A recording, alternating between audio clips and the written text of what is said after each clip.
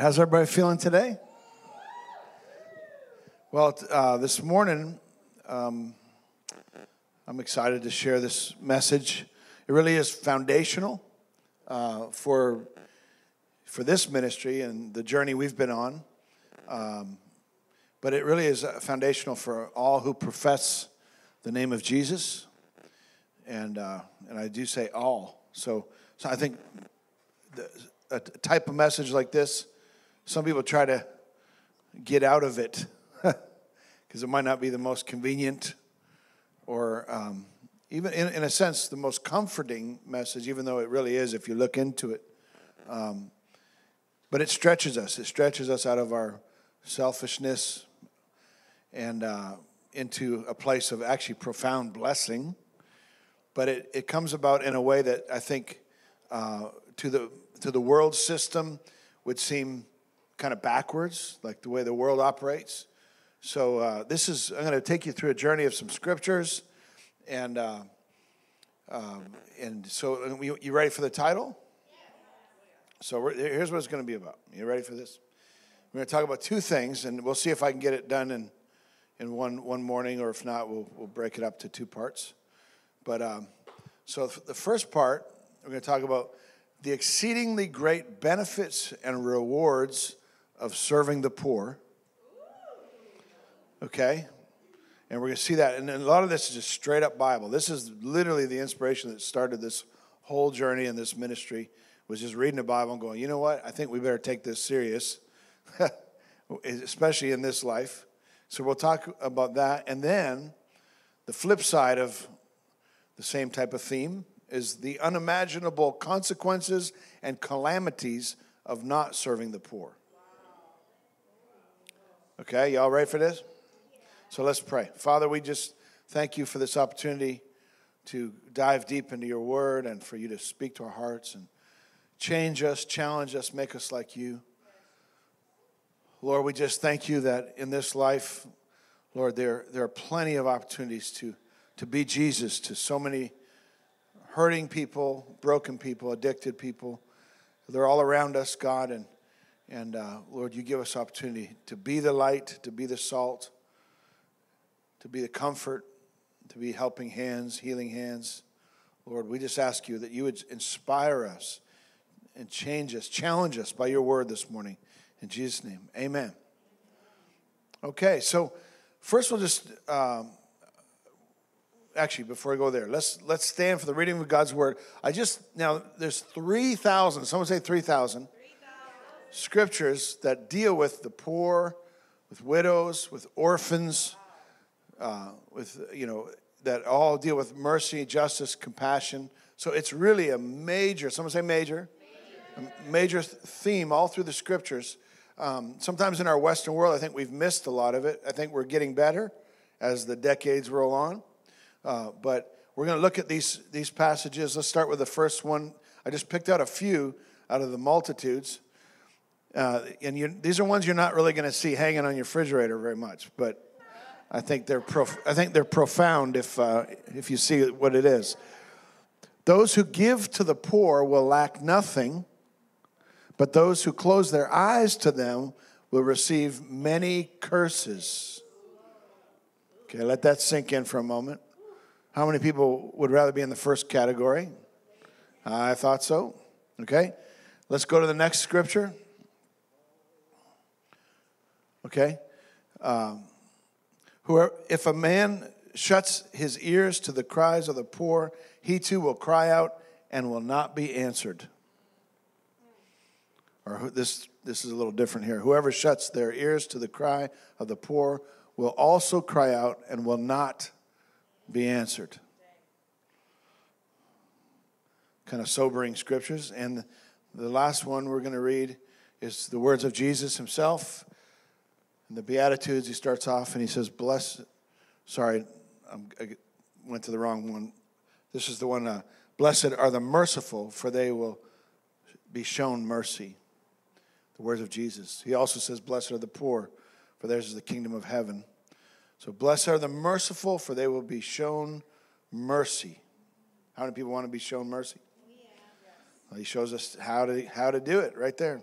Let's let's be seated in the presence of the Lord and let's dive in. You ready for this? Okay. So um, now when we when we look at the at the world right now, you see all kinds of you know calamities and urgencies and you know humans are crying out and you know, contending against one another and a lot of offended people. We just see this atmosphere, this uproar.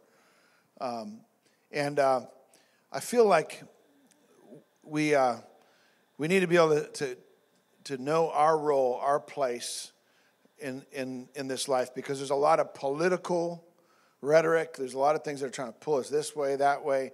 And I'll tell you, a lot of times, especially in political circles, people use the poor or use this compassion, but sometimes it's a pseudo compassion. It's all, it's all, you can see even through scriptures that um, people, uh, the attorneys come to Jesus and they, well, who's my neighbor? And they're trying, everyone's trying to use this, this compassion thing uh, as, as uh, p- political, as, well, who's right, who's wrong, this whole thing. But let's just forget all of that, the way the world's trying to digest it, you know, immigration, everything, all these things. Uh, and let's just go straight to the scripture and let's see our role as believers, those who profess the, na- the name of Jesus. Does that sound good? Yeah. So that's what we want to do. We want to go right there and get the, the, to the pure source, not the distorted source where everyone's just using people da- down and out and broken people uh, for their own agendas, because it really can happen. It's kind of sad. And, uh, and, and the other thing that we need to set aside in, in such an atmosphere that we're in right now in, in America and and the nations, even Europe's dealing with all these things, uh, is um, politics is different than the church. A lot of people try to put the two together. They're two different roles. And every time we mix them up, we get all mad and messed up. Uh, the, we, we want our politicians to be compassionate and, and justice, right? And everyone, they're not exempt from the basics of the kingdom. No one is. Uh, we want that. But there's a different role that they play than the, than the role of the church. And when we get those mixed up, it's just a mumble jumble. It's confusion. Everyone's mad at everyone. Well, you should be doing this and you should be doing that. I want to go straight to the role of the body of Christ. Our, our privilege, I call it the privilege of the body of Christ, is to serve the poor. And, uh, and, and one of the greatest opportunities we have to see the kingdom advance. So it's, is if, you, if you're a fisherman, you got to know where the good fishing spots are. It's my, that's my fishing hole right there. That's where the fish bite, right? And, and, and a lot of times we've, I grew up, my backdrop, my decades of life, I'm 50, uh, almost 54. And I grew up in, in an era where much of the church was, was moving out, out of the inner cities, out of the cities even, and moving to suburbs. And, uh, you know, kind of in, in essence, whether you admit it or not, catering to the rich. More comfortable places, more, you know, better offerings, you know, better. And, and, uh, and so, but I believe we're in a day right now where the church is getting ready to run right back in. They're going to get a spirit of mercy and justice and compassion, and uh, no longer be the days of the love of most growing cold and then suffering the results, suffering uh, what we've seen in our cities and uh, in our culture, because we, we as believers have the privilege of extending the love of Jesus, especially uh, to the most vulnerable. Yeah, God has a special heart for the broken. You can see these type scriptures we just read and go, wait a second, those who serve the poor will lack nothing? I mean, he doesn't say that about any other category of people. So let's, let's dive in. You ready for this? Um, so I'm going to skip a few things here, but uh, um, so have way too much. Actually, this could be a whole book, really, eventually. But um, but we, you know, we've grown up in a, in a culture, got to understand, in the, in the Western culture, is very much driven by materialism, you know. The, the American dream, you know, get, get, get the house and the, a couple cars or, you know, whatever, you know, and all, all the kind of the, the prototype of what success and blessing looks like. And, uh, and I, I just want to say that God calls us to walk in mercy, not materialism, okay? And there's a big difference. Um, God wants you to be blessed. He actually gives us, through looking at some of these scriptures that talk about compassion, we see that, man, some of the most profound blessings are going to be found uh, by those who actually walk out what we're going to talk about here.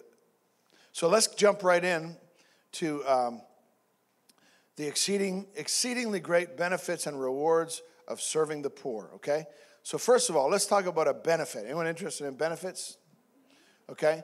Uh, something that promotes well being, that gives you an advantage. If you got benefits, you got advantage. You got well being. Um, and, and so, um, this is something I think we should all, especially when the benefits come from the Lord. That means they don't wear out, right? I mean, this is, this is not stuff that can be stolen and ripped off. These are the benefits that the Lord adds to us. So we're going to jump into that and the rewards. All through the scripture, we see that we're rewarded for what we do or uh, we suffer the consequence of what we do not do. Okay, so both um, are important uh, to understand that God does reward, um, He does give, and um, He wants to bless us. He wants to set us up for success. He wants us to receive the benefits. So when we begin to be compassionate and, and full of mercy, uh, we begin to become something. One of the benefits is we become, according to Scripture, we'll, we'll dive into this, we become authentic. We become an authentic believer. There's, there's Christians, and then there's practicing Christians. Anyone can be in name only. Well, I'm Christian, yeah, I'm cool like that. You know, I mean, even in, even in the inner city, all the years that we were in the hood here, everyone was kind of cool with Jesus. Oh, I'm, I'm down with Jesus. He's cool, you know. But those who are actually living it and walking in righteousness, sometimes there's few, few to be found. Right? And so, so we become authentic. What does authentic mean? Um, it means uh, worthy of acceptance or belief, uh, worthy uh, of acceptance because of, watch this, accuracy. We become believable. We become uh, the real thing, as people would say, okay? How many people want to be authentic? Yeah. Of course we do, you know? Uh, and, and there's stern warnings, extensive warnings all through Scripture about, about being hypocrites, uh, about the Pharisees who were hypocrites. So we go in here and we look at this. Uh, it's, uh, it's, the state of not being false, but uh, or even an imitation, but being the real thing.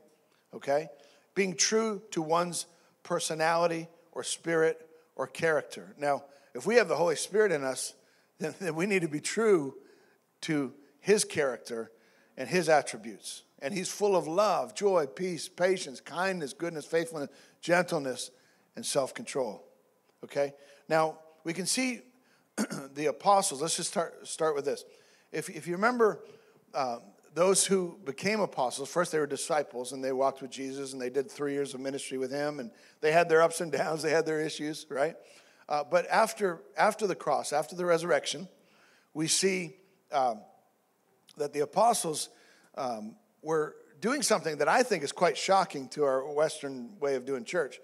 We see that they were, they were serving the poor, they were serving the widows, uh, like with their own hands and their own time and their own energy and you know, I don't know where they got the food, but uh, you know, they were that's what they were doing. You know, we don't talk about that much. Now we talk about the, the great apostles' teachings and writings and and uh, and the miracles and signs and wonders that all came from their hands. But we see to the point that they you can read about it in the book of Acts. I won't be able to uh, to give you every um, scripture, but this is the early chapters of the book of Acts. It says that they got they came to a place, the apostles, where they were just like oh, this is overwhelming. you know, we're doing the Manna Cafe, right? We're, do, you know, they're, they're, to the point where they didn't have any time for prayer uh, or teaching of the word. So basically, now people don't just fall into that after you've walked with Jesus. Somehow they saw that priority modeled, and then when Jesus left them the authority to carry on the work of the, of the ministry, uh, they they started doing that. Now, what did they do? They said, well, we need more people. We need more leaders. So they got Stephen and the boys, as I call them, the next realm of leaders. They prayed about it, said, who do we get? And they gather those guys and the people of good character and wisdom and full of the Spirit so that they can serve the poor. So that they put their hands on these guys and ordained them and said, now you guys wait tables. You guys carry it on. Isn't that interesting? And we don't, we don't hear that much in, in today's time. We hear about the apostles teaching and the miracles and all the big stuff that's happening. But there was a foundational compassion that was in the early church. Okay? Now, uh, Cassie mentioned it, which I thought was cool, at, uh, the, about Cornelius. This was my next thing. We see the, the very first um, uh, Gentile who receives the Holy Spirit. How many people want to receive the Holy Spirit? Well, the Holy Spirit was attracted out of all the people he could have went to to one particular guy. We heard about the attributes of this amazing man who was a centurion uh, in the Italian regiment. And it says, he and all his family were devout and God fearing. They didn't know Jesus yet, uh, but they were God fearing, and they gave generously to those in need and prayed to God regularly. Okay? And, and then the angel of the Lord um, uh, comes and, and highlights Cornelius, and the, angel, and the angel answers, Your prayers and your gifts to the poor have come up as a memorial offering before God. So basically, he's saying, Hey, we chose you. Why? Because of your prayer life, your secret life, and your outer life, extending all that goodness that's, that, that we generate sometimes when we're, when we're uh, focusing on God and getting filled with the Spirit. And, and uh, he, he says, he says um, that this has come up as a memorial uh, that God remembers. God remembers your gifts. Therefore, here comes the Holy Spirit. First man, first Gentile to receive the Holy Spirit. So I believe that's the foundation of the Gentile church, should be a prayer life, a secret life, and a, and a, a compassionate life, uh, giving generously. Now, let's keep moving there. Does that sound good? So we see that. So the second thing you're attribute you're going to get if you serve the poor uh, is you become authoritative. In other words, you have authority. Okay? How many people would like to have authority? Yes. Remember, Jesus, uh, the, the, people were astonished at his teaching because he wasn't like the teachers of the law. He wasn't like everyone else that were, that were leading the charge in the church, uh, in the temples. And the, uh, he says, when he taught, uh, his word, uh, his, for his word was with authority, it says. There was weight behind it. The people took note and were like, wait a second, this guy's different. He's coming from a whole different place, okay? Now, I noticed uh, in studying church history and just watching what was happening and how the church, I'm always fascinated how the church impacts culture and society or lack thereof, or doesn't, and wonder what's going wrong. Why? And so, one of the, the people that I, that I watched growing up was Mother Teresa, okay? And, and just seeing how she began to serve the poor. Now, remember, she, she, she was like 98 I think Romanian, I think, I think she's from Romania, but 98 pound little nun who served in obscurity for many, many years, okay? Uh, and no one even celebrated or knew her name, but she began to serve the poor, the poorest of the poor. And uh, I've had friends that actually met her and spent time with her. And, uh, um, but it's fascinating. She goes to, to, to people primarily in India. They, they branched out all across the world over time, but uh, people that were really destined to die, that, that, and just so a lot of times just gave them uh, love and care and compassion and a dignified death because they were so far gone.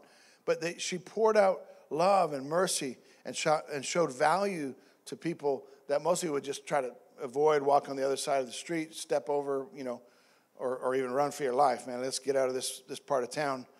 And, and so she went right there. She took a vow of poverty. It's, it's kind of, it can seem a little extreme, but when you, when you look at what were, the, what were the results, what were the results? Well, she got to a place where, where uh, any king or politician, president would love to have their picture taken beside her. Like, you kidding, me?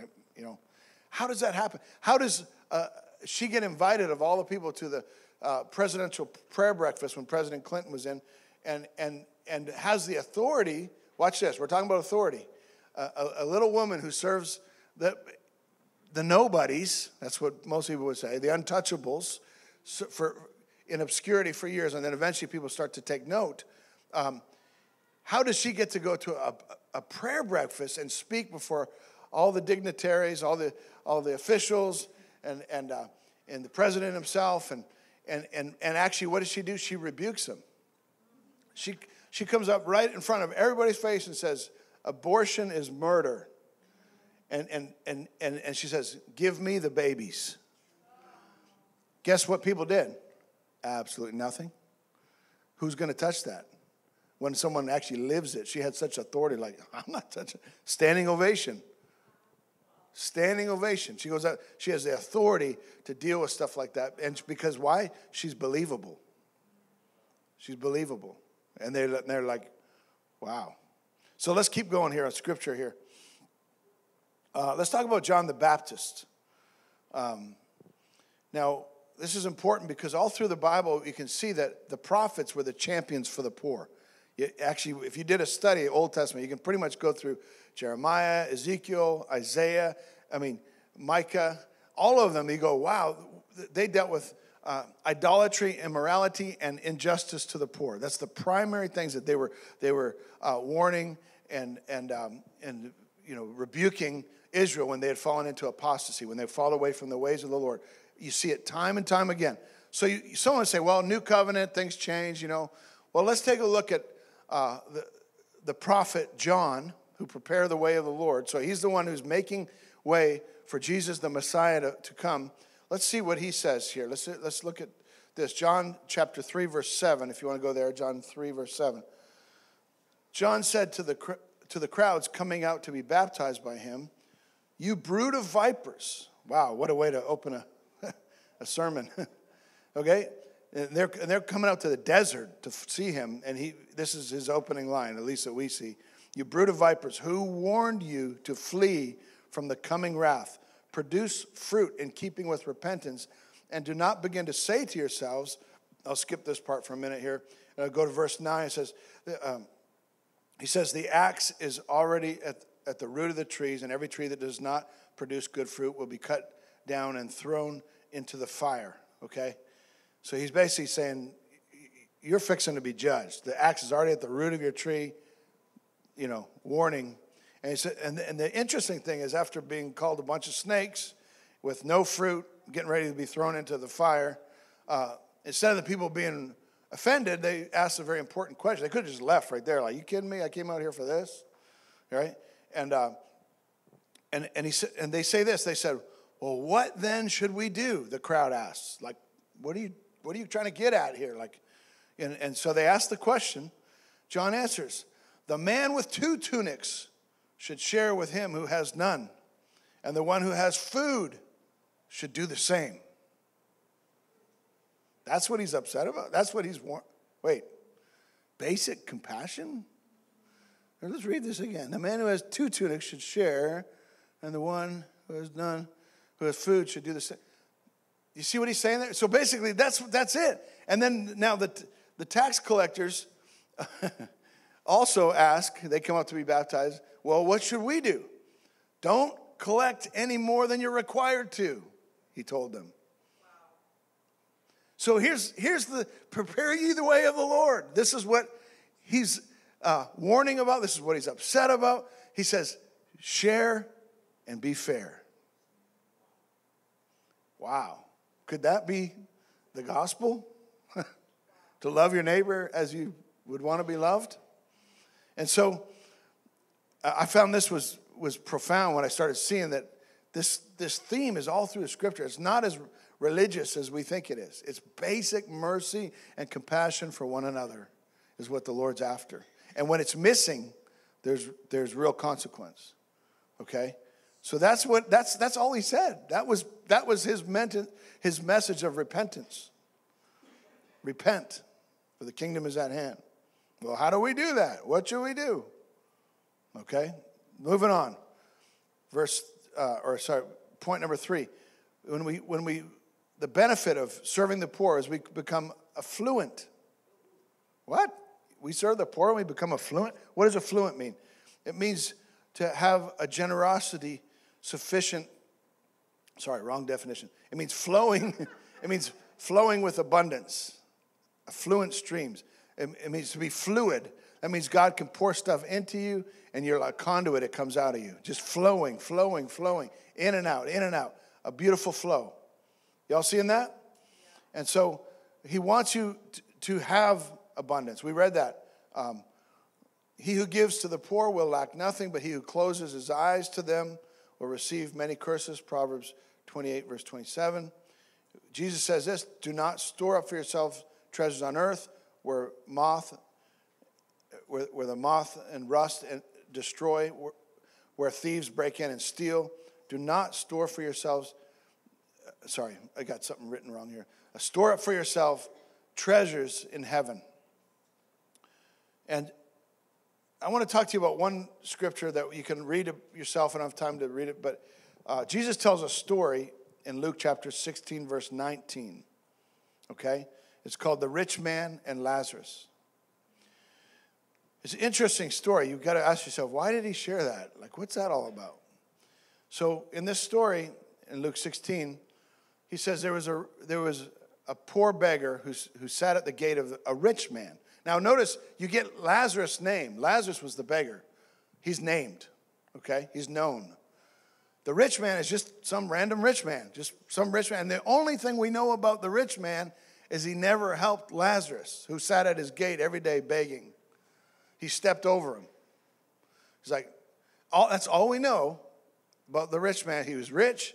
He did not open his heart to this beggar who was in his path every day. And, and then it flips to eternity, and you, you see that the rich man is in hell and, and in the agony of the fires of hell, and you all you know is Lazarus is in heaven. That's it. And, and that's really all the story is. It's like there's a rich guy who did not serve the poor, he's in hell. There's a poor guy who was a nobody on earth, a beggar. He's known, we have his name, and he's in heaven. Just think about that one. So many who, who will be first will be last, and many who are last will be first. So you might look like you're last on earth, but that doesn't necessarily mean how it's going to turn out uh, in eternity. And many who look like they're first in this realm will end up being last or even left out in the next realm. I know some of this is intense. You don't normally hear preaching like this, but y'all, y'all, y'all okay? It's the, straight up Bible. It's what got me off my selfish path, self serving primarily, into doing things that I never thought I would do. Praise be to God. Okay, point number four one of the benefits of uh, and the blessings of serving the poor is you become accepted. Become accepted. Let's look at it. This is one of the foundational scriptures for us. Big time John, 1 John 3:16, the other John 3:16 says, This then is how we know what love is. Jesus Christ laid down his life for us, and we ought to lay down our lives for our brothers. If anyone has material possession, there it went and got practical again. Now, see that? If anyone has, the first part is nice and it's like, oh, love, everybody love everybody. But then all of a sudden, boom, like, here we go. Anyone has possession. Sounds like John again, doesn't it? Interesting. Um, if anyone has material possessions and sees his brother in need and has no pity on him, how can the love of God be in him? Question mark. Like, wow. how does that work? That's what John's saying. Now, John walked with Jesus, right? It says, Dear children, let us not love with words or tongue, but with actions and in truth. Okay? Now we're talking about being accepted, okay? Verse 19, this then is how we know that we belong to the truth and we set our hearts at rest in his presence. This then, he just described how we know we belong and how and we're, we're accepted and we're part of the family of God and I remember, I'll tell you a story that I, when I was here in, in Nashville, the early years, and I was uh, doing the you know music industry stuff, Christian music, and we were traveling all over the world. We were doing concerts and festivals and and uh, studio stuff and hanging out with a bunch of you know big names and all that stuff. Uh, we were we were wrestling on the inside, like something felt so man-made about a lot of it. Some of it was good, good people trying to do good things, but we're like, Lord, you know, where are you? Where's your kingdom? As young men, we were crying out, like, we got to find you, Lord. This is okay. We're doing what we love to do, but we're realizing we don't love it that much. It's like climbing the ladder of success uh, to find out it's leaning on the wrong wall. Like, oh, okay, now what? so we went back to seeking the Lord and, and we began to stumble over these scriptures. And we stumbled, literally. We're like, whoa, that's messing up my normal stride of the day, taking care of me and my own self. And I was like, wait, let's, let's look at this again. And we began to see um, some of these scriptures and we began to realize let's try it. Let's just at least do an outreach. Let's do something different, out of the ordinary. And so we did, and uh, we went to, to uh, our very first outreach right down here on Drummondbrim. One of our guys said, Man, I know where there's a bunch of homeless guys. We can get them. I got a little grill, get some food, some music. We'll go to the streets. Let's just try it out, see if it works. It's the words of Jesus. It's important to him. Let's make it important to us. So we tried it. And, you know, I don't know if anyone got saved. Maybe I did that night, that first outreach, you know. But um, we were driving home, and I told my friend, Man, I said, I just feel like we touched eternity, like, like that. I knew that that was pure. I knew that that mattered. So a lot of the other stuff, I didn't know how it added up. It was just a mixture. And, uh, and, and then the Lord said, you know, uh, you just touched me. That's why it feels so good. When you through the poor, you just touched me. You ministered to me. We'll talk about that scripture in a minute. And then, and then I, this scripture sunk in right here. This then is how we know that we belong to the truth and we set our hearts at rest. It's like the first time in my journey of Nashville, all this big name, fame game, all this stuff going down, and all of a sudden my heart was at rest. And where did I find it? In a, with the poor, with the broken people. And I was like, wow, that, this was that that he's talking about. So Matthew 25, this was the one of the ones that catapulted us into action, from inaction to action. Um, I'll read you just a portion, Matthew 25, verse 33. He will put the sheep on his right and the goats on his left. This is the Lord, dividing all of mankind into only two categories. Okay? Uh, then the king will say to those on his right, Come, you who are blessed. So remember, we're talking about those who are accepted. Come, come in, you're blessed. Uh, you're blessed by my Father. Take your inheritance, the kingdom prepared for you since the creation of the world. For I was hungry and you gave me something to eat. I was thirsty, you gave me something to drink. I was a stranger and you invited me in. I needed clothes, you clothed me. I was sick and you looked after me. I was in prison and you came to visit me. So, all this list of real practical, basic stuff mercy, compassion. Um, and he says, This is what we're going to talk about on Judgment Day. This is the two categories. And, and those who have been done what sheep do, the category on the right, uh, he, he, says, You will receive an inheritance. You receive this blessing. Um, so, you know, I was a stranger. You invited me in. Um, I remember a time when, and was, I, this was on my mind because uh, Daniel just told us, I haven't got the whole story yet, but he just was down in Orlando doing evangelism, and he's got a, a story where he literally believes he encountered an angel through, through a, a, a poor guy in a very distressing disguise. Uh, and uh, I'll let him tell the story sometime. But the, the guy all of a sudden just turned on the revelation, began to pray and prophesy over him after, like, you know, yeah, it was like he's got it on recording too, the whole recording. And but it, he had to push through all these these bizarre things that was happening, and and, and he asked the guy 10 times, Do you want to be saved? Do you want to be saved? Do you want to be saved? You know, and, and finally the guy said yes, and then boom, boom, and then all of a sudden the guy's prophesying over him like profound stuff. So we'll let him share more of that. But but it happened to me a few times where we were entertaining strangers, people like just you know some guy on the street or something. And I remember a time I was um, um, uh, at McDonald's on Broadway here. I was coming out, and this guy comes to me. He was kind of Hispanic looking guy, and he comes and he smells like alcohol, got a bad smell, everything. He's, and he's coming right towards me. And I'm thinking, okay, I got a minute where I can just duck my head and go to my car, or I can somehow, you know, just receive this guy to some extent, see what he's up to, see what he wants, you know. He's coming right towards me. So I just decide, well, I've been reading the Bible, so maybe I'm going to try some more Bible stuff out. Here we go.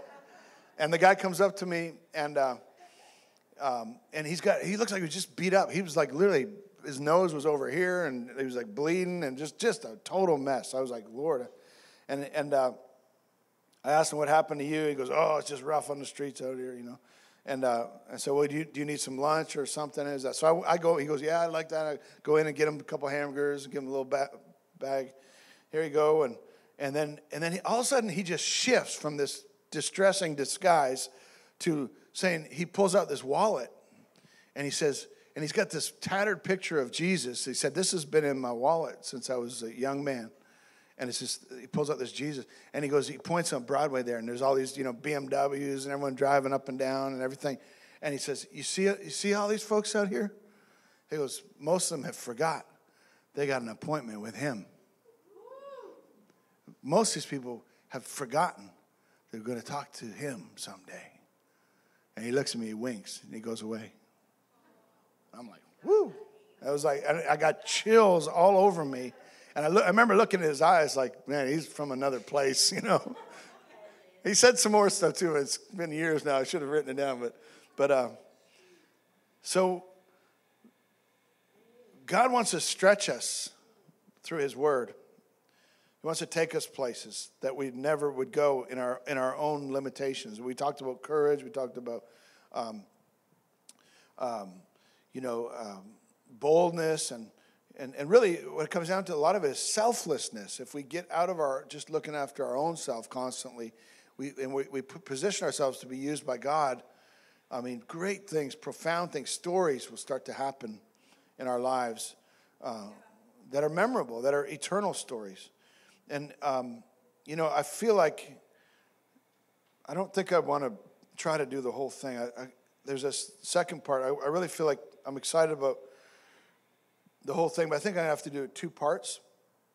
Um, the unimaginable consequences and calamities of not serving the poor. I feel like our nation has already been suffering up on that uh, because of that um, in, in, a, in a, lot, a lot of ways of what we see the strife and the contention and the, the, the neediness. Uh, but I believe the church is called to be the light, is called to be the solution.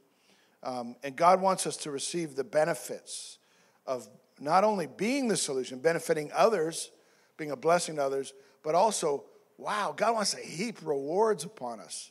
I mean, I know, I'm going to just share a few things from Sarah and I's life. Um, you know, we've been able to, to, to do things and receive blessings and benefits. Um, you know, we, might, we might not have the biggest salary in the world. I'll put that out there, okay? But, man, we, it doesn't matter. Why? Because there's invitations and blessings. And if we seek first the kingdom, uh, all these things are added. Everywhere you go, someone's adding something to you.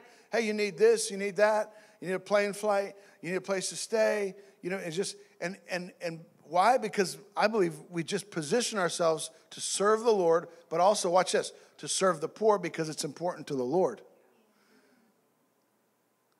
And I believe God's trying to raise up a church that actually takes his word serious and goes, you know what?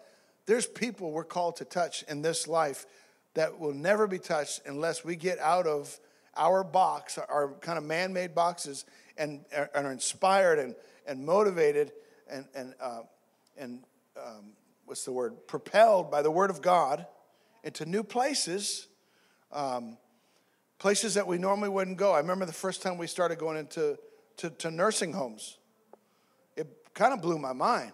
Just like, what? Are you kidding me? Like, if we forget in this life what sometimes the end of life can look like and how needy humans can become. And, and watch this how lonely and forgotten humans can become. And it doesn't have to be that way. And I know, like my mom and my sisters, Celeste, they started a Bible study that went on for, I don't even know, like 12 years, uh, a Bible study in the nursing homes and they saw many people, you know, that were religious all their life, and here they are the, near the end of their life, but they never knew Jesus until they actually had someone just sit with them, open the Bible, and say, "No, you can actually have a real relationship. You don't just just say, "Well, I went to church," you know, uh, you know." But no, you can have people that were like hanging on the edge of eternity, elderly, and still not even having a clue really about relationship with Jesus. And so there's so many places that we can go. We can stand in the gap. I know Wendell, he did a, I love hearing his stories. He served the homeless for, for many, many years and then wrote stories. He wrote down their stories. Like you got a book or you got, you know, a series of stories that were put out for many years. And uh, they're treasures, guys. We, we, we want to sometimes just, uh, you know, move on to the next religious thing. And, the, and the, I'm telling you, I'm kind of giving you a break by not diving into the next part t- today because it gets intense. It's like it's the, the, the calamities and the, the, the, the curses of, of just being religious, of not being the real thing, are, are just actually overwhelming. So it's, and I feel like we want to camp out for a moment here this morning on the benefits and, and how God sets us up for blessings and how He wants to, to change your life and um, um, through just taking these baby steps. Sometimes they're just the baby steps. I remember I used to tell people, hey, who here knows how to make a peanut butter and jelly sandwich? Yes. Like, everyone goes, yeah, yeah, I know. All right, you're in, man. You can, you can be a blessing. You can be part of the outreach. You can, you can help someone.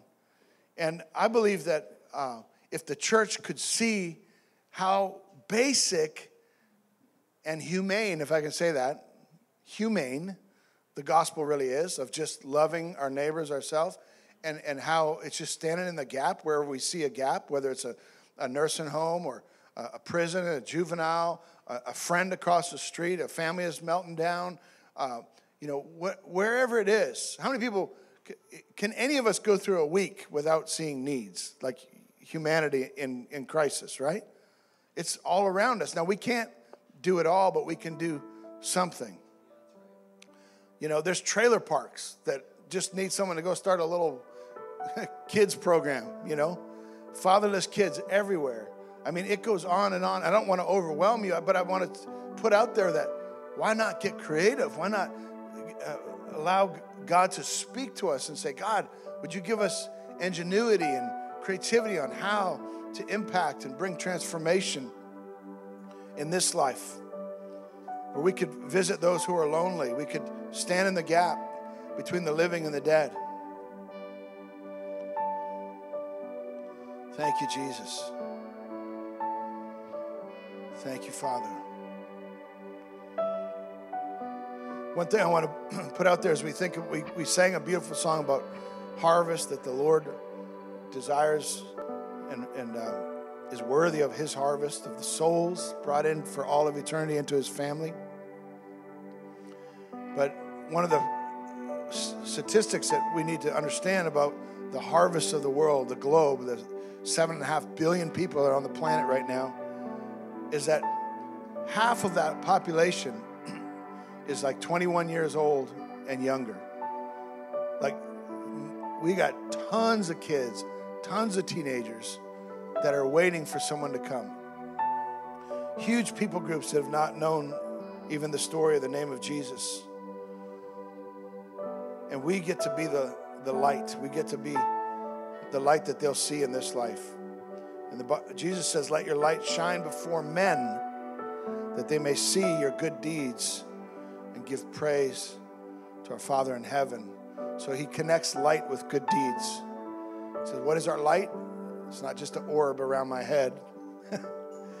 it's good deeds. It's, it's actually love in action. And they're going to give praise to the Father because the compassion that came from your life. One last thing that the Lord showed me years ago that I believe is, has begun now, and we get to be part of it, we get to ride it. Is He showed me a tidal wave of compassion that would come and wash the earth and sweep millions into the kingdom. But it would come from, it would, it would go to the lowest places. Water always goes to the lowest places first. And uh, Remember how the Lord says, Hey, my table is not full. My, and, and the, the master had set a table, banqueting table. And he says, Wait a second, this, this isn't working. It's not full. And he says with, with urgency and even with anger, it says, Go to the poor and the, the lame and the blind and the crippled. Go get them and fill my table. Go to the highways and the byways. He tells you where you're going to find that last day harvest to fill the table because it's not full yet. He says specifically with urgency and even with, he says, with, I find it interesting, he says, with anger, he's upset at this situation because most people have excuses. They're like, no, nah, I'm good, you know. But he says, there's some people I know we can fill these tables with. It's the poor, the broken, He says, Go out quickly into the streets and the alleys of the town and bring in the poor, the crippled, the blind, and the lame. Then he says, Go out to the rural places.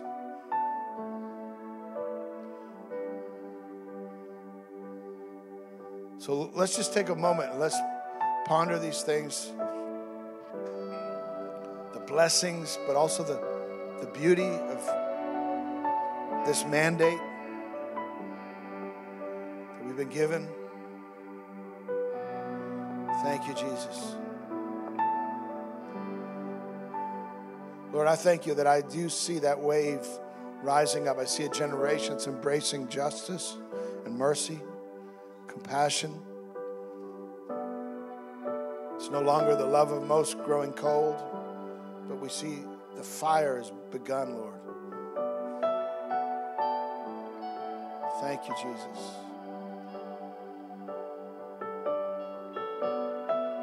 Thank you, Jesus. You left us an example to follow, Lord. The Lord spoke this to me years ago when we began to serve in the inner city here. He said, If we serve the poor, we will speak to kings.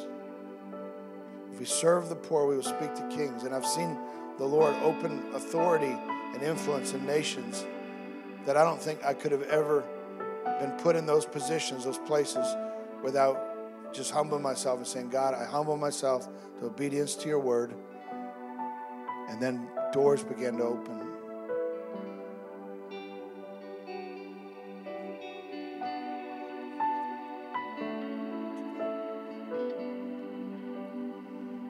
Lord, help us to produce fruit in keeping with repentance, as John the Baptist said. That we could, that fruit of repentance is that we would share and be fair with our fellow men. Lord, would you remove selfishness?